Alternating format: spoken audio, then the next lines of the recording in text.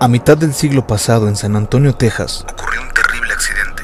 Mientras un chofer transportaba a 10 niños en el autobús escolar, se presentó una falla en el motor y quedaron atrapados en medio de las vías del tren justamente cuando el tren estaba por pasar. Por lo que el tren se llevó de encuentro al autobús junto con la vida de todas esas inocentes almas.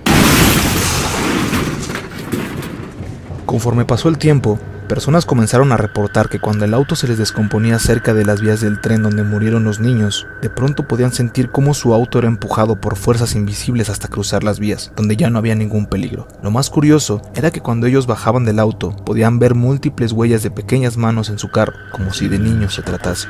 Estas historias cada vez se volvieron más sonadas y frecuentes, por lo que las personas a lo largo de las décadas han ido a comprobar la veracidad de la leyenda. Se dice que si pones el carro en neutral o lo apagas, Siempre el carro se va a mover hacia adelante y si le pones talco a tu auto, efectivamente se marcarán las manitas de los niños. Expertos han tratado de encontrar una razón científica para desmentir el fenómeno paranormal, pero para su sorpresa, tras varios estudios, dedujeron que la carretera no es recta ni va hacia abajo, sino lo contrario, ligeramente hacia arriba, por lo que desecha cualquiera de sus teorías, dando lugar a una increíble historia de fantasmas. Es tanta actividad paranormal de estas vías ferroviarias que se ha convertido en un destino turístico para aquellos que buscan un poco de terror. Parte de los extraños fenómenos mencionados anteriormente, también hay testigos que incluso cuentan haber escuchado voces y haber visto a los espíritus de los niños, quienes después de su muerte se quedaron en las vías para evitar que se repita la muerte que ellos tuvieron.